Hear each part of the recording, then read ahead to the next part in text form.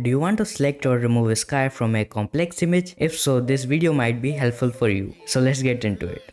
Alright, so first of all, just open your image and if you like to use the one I'm using, the link will be in the description. So just click on this lock icon to unlock this layer. Now click on this add layer mask and click on this layer thumbnail. Now go to select and color range. Now click on this add to sample icon and take samples of the sky color. You can adjust the fuzziness from here but I would suggest to keep it as minimal as possible. So I'm gonna keep it here and hit OK. So now click on this mask thumbnail and take a brush and choose a black foreground color. Increase the brush size and just start painting. And the background should be removed. Now this was super easy but let me try with a complex image. So this is the second image I'm gonna use for today. So let's remove the sky. Click on this add layer mask and click on this layer thumbnail.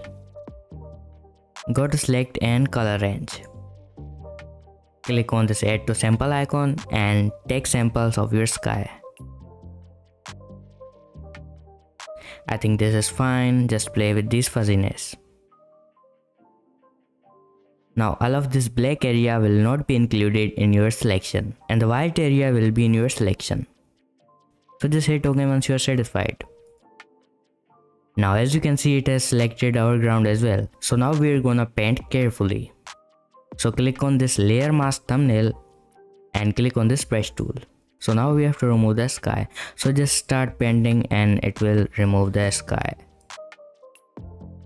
Zoom in and you can be extra careful while removing this area.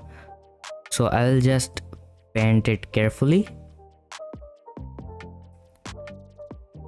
And rest assured it will not remove anything else because you have made a selection.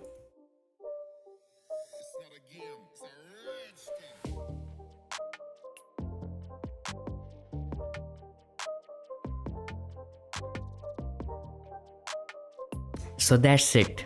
So that was it for the video. If you like to see more videos like this, make sure to subscribe and see you in the next one.